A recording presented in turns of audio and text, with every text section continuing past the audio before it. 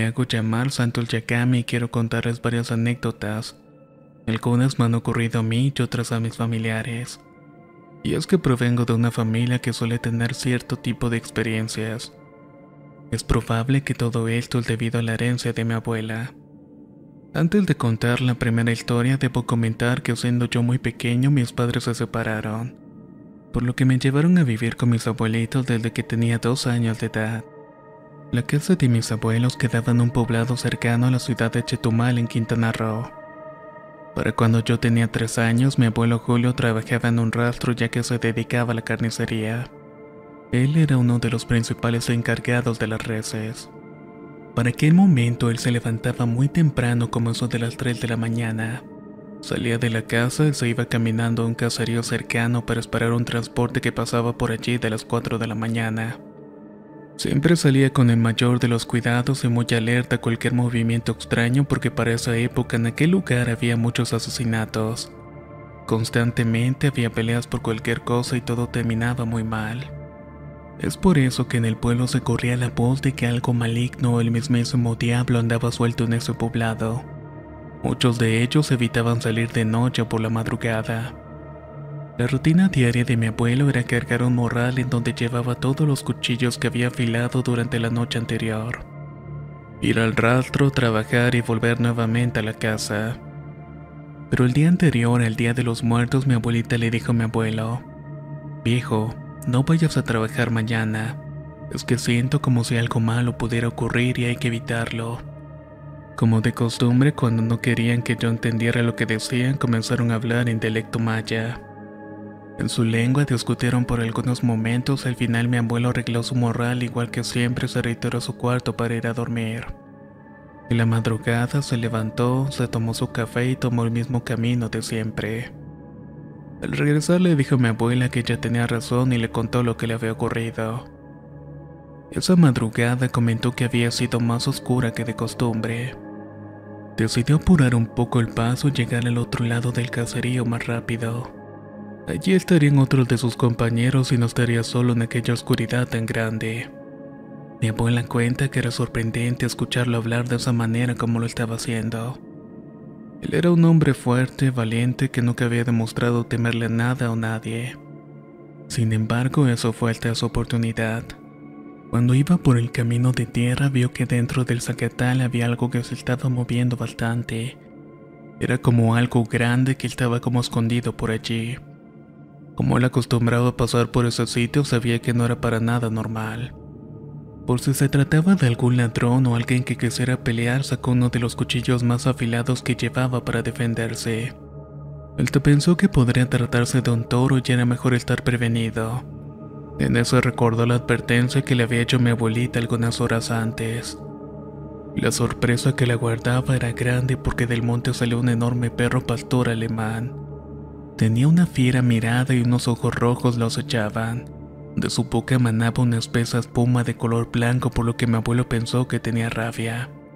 En ese momento prefirió alejarse rápidamente sin nunca darle la espalda a aquella bestia. Pero dejó de caminar tan pronto cuando escuchó una gruesa voz que le decía, Julio, no sigas corriendo. Deja de escapar de mí.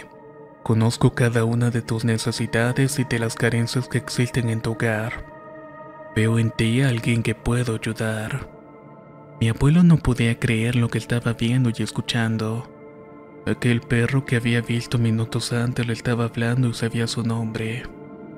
Sin poder emitir una sola palabra, mi abuelo siguió tratando de comprender lo que le estaba pasando.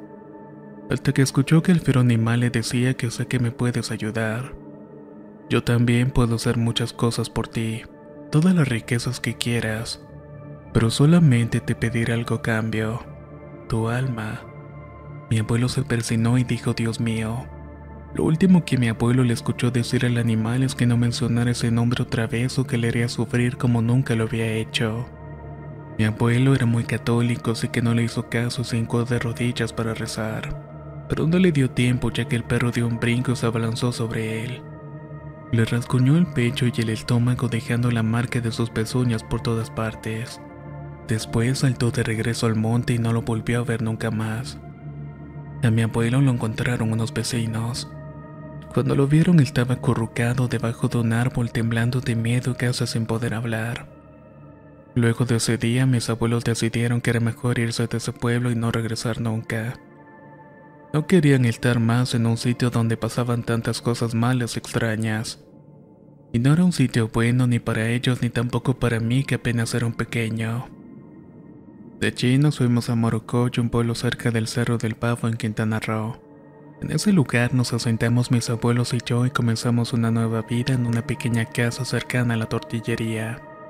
Mi abuelo seguía trabajando como carnicero en la matanza de reses, mientras que mi abuela lo ayudaba con un don que tenía y que había descubierto desde que ella era una niña. Ella era curandera y trabajaba haciendo limpias y cosas similares. Cuando yo tenía unos 7 años aún vivíamos en esa pequeña casa. Para aquel momento tenía un amigo imaginario con el que siempre me la pasaba jugando. Aunque mi abuela prefería creer que se trataba de un duende maya.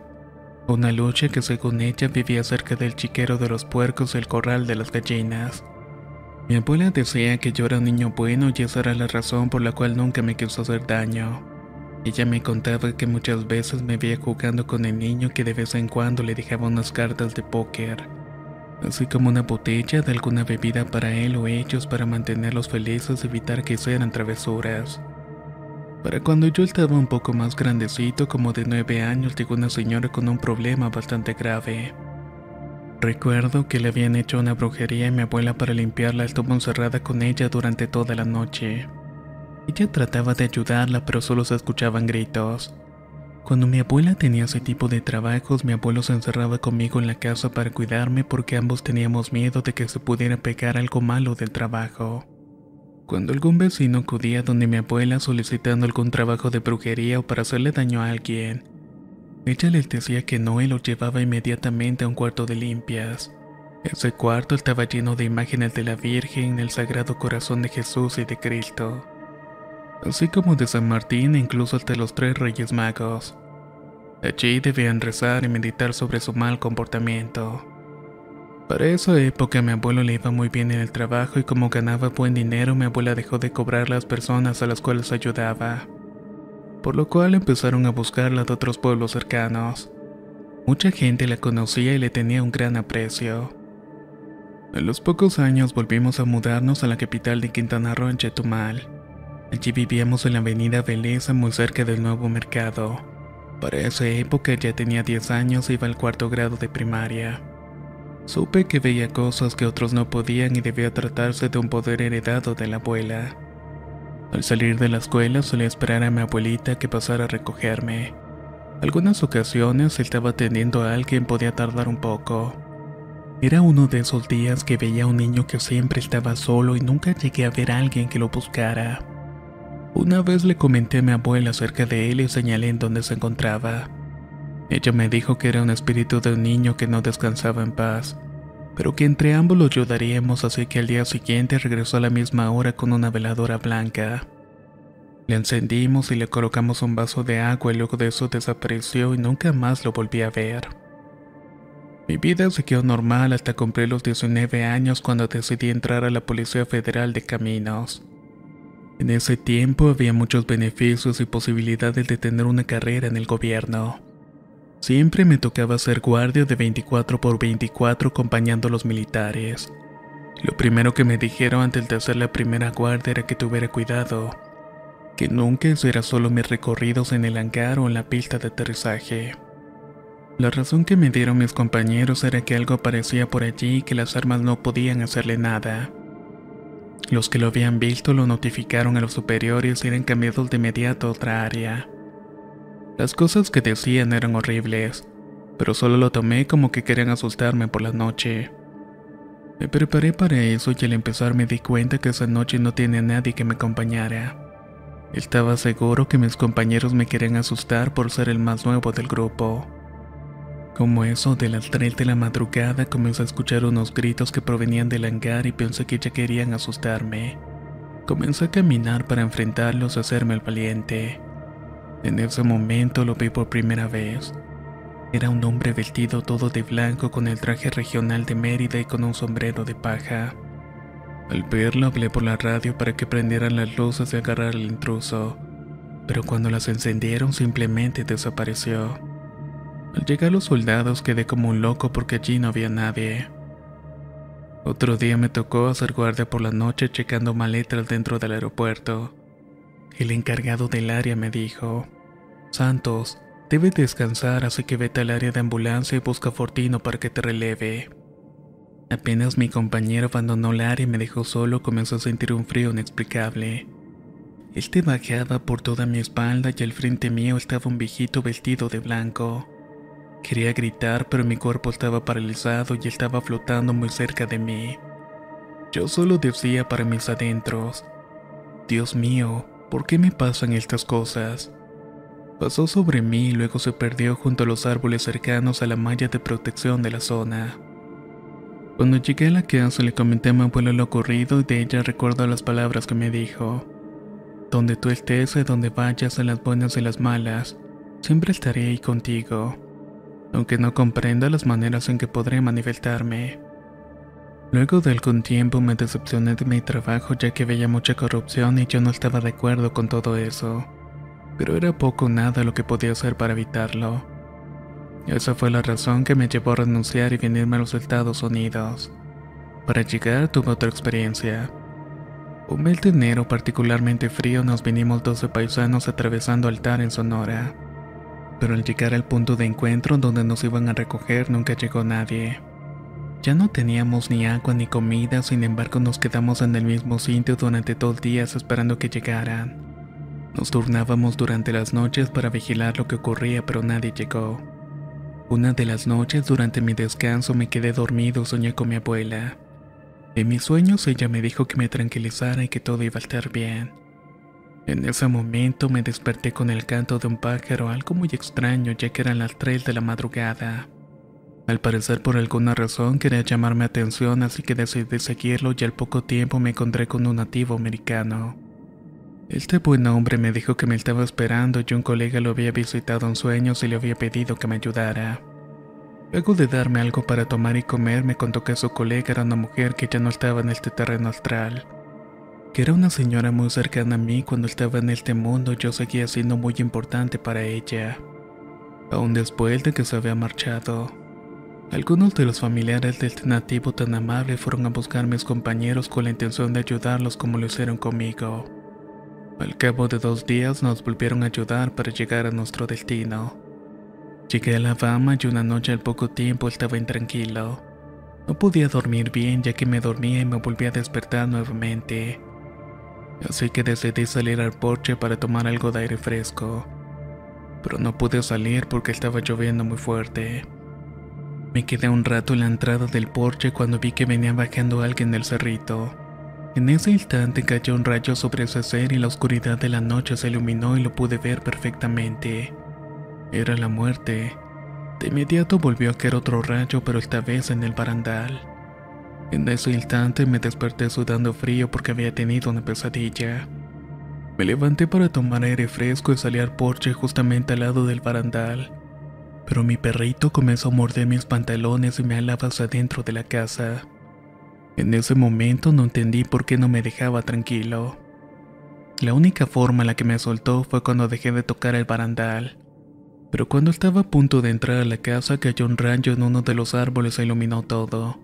Corrí a la casa, pero mi perro se quedó al lado del barandal y no tuvo tiempo de nada, ya que el segundo rayo impactó cerca de donde él se encontraba.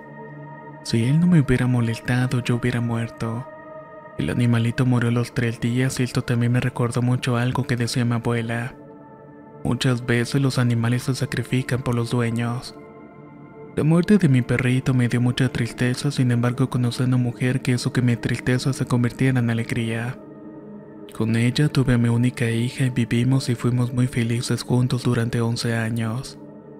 Ella se enamoró de otro hombre y me dejó llevándose con ella mi adorada hija. Esto fue algo que destrozó mi corazón y sentía que me estaban arrancando una parte de mi cuerpo. Andaba por la vida como un ser sin alma, ella sabía que mi hija era mi mundo y mi todo. Alejarla de mí era el peor daño que podía hacerme. Un día pensé en terminar con todo el sufrimiento de una vez por todas. Pero extrañamente me invadió un sueño que impidió hacer cualquier cosa y me quedé dormido en una silla. Soñé con un pajarito que estaba silbando la ventana. Era como si yo entendiera que me cantaba porque sabía que me decía que todo iba a estar bien, que no cometiera una locura porque mi hija estaría conmigo en menos de una semana. Yo creo que mi abuela se apareció en mis sueños ya que a los dos días mi ex esposa me mandó a mi hija para que se quedara conmigo. Y hasta la fecha de hoy ella sigue estando conmigo. La última historia que me ocurrió hasta ahora fue el pasado diciembre, cuando venía de trabajar y eran como las 11 de la noche cuando manejaba mi taxi. En esa oportunidad me paré a ayudar a una anciana que estaba parada en la carretera. Cuando la vi me causó grasa el sombrero de Santa Claus que llevaba puesto. Después pensé que seguramente lo llevaba porque tenía frío. Le dije que se subiera al auto que yo la llevaría donde ella necesitara. Estaba lloviznando y no la dejaría en un lugar que no fuera seguro. Me dijo que le llevara a una gasolinera para comprar algunas cosas y que luego la llevara a su casa. Con gusto la llevé a la gasolinera y esperé a que comprara sus cosas. Pero se estaba tardando mucho y yo tenía que ir a trabajar. Así que decidí entrar al establecimiento y ayudarla para que terminara más rápido. Cuando entré solamente estaba el muchacho que atendía la tienda. Le pregunté por la anciana que había entrado a comprar hace unos 10 minutos antes. Él me preguntó que cómo era y le dije que llevaba puesto un gorro de Santa Claus y me interrumpió. Ya sé de quién hablas. Se trata de Susan y se persinó. Ella falleció hace años y yo sorprendido le dije que no podía ser cierto que la acababa de ver y llevar para comprar unas cosas y estaba esperando para llevarla de vuelta a la casa. De inmediato él me enseñó la foto de la anciana en un periódico. Él decía que Susan había fallecido una noche de diciembre, justamente cuando iba a comprar unas cosas en la gasolinera. Nunca sabré por qué me pasan este tipo de cosas a mí, pero esta es la historia de varias cosas que me han ocurrido durante toda mi vida. Muchas gracias por escucharme.